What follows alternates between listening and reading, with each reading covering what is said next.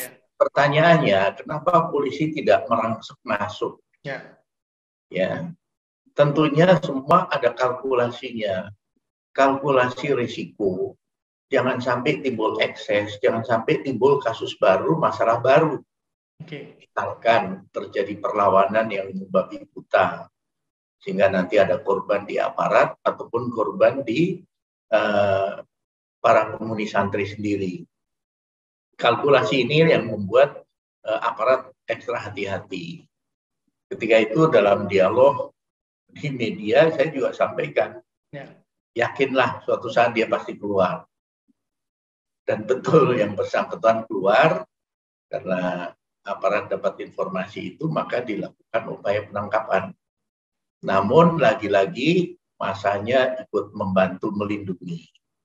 Nah dalam konteks ini sudah ada dua orang yang ditetapkan sebagai tersangka karena menghalang-halangi penyidikan. Ini penangkapan kemarin ya. Nah ketika penangkapan kemarin pun bertambah.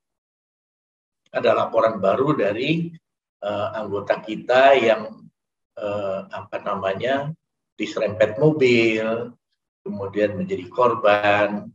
Nah, ketika mobil Isuzu Panther ini ditangkap, ternyata di dalam tas ditemukan uh, airsoft gun okay. berikut peluru berupa dotri.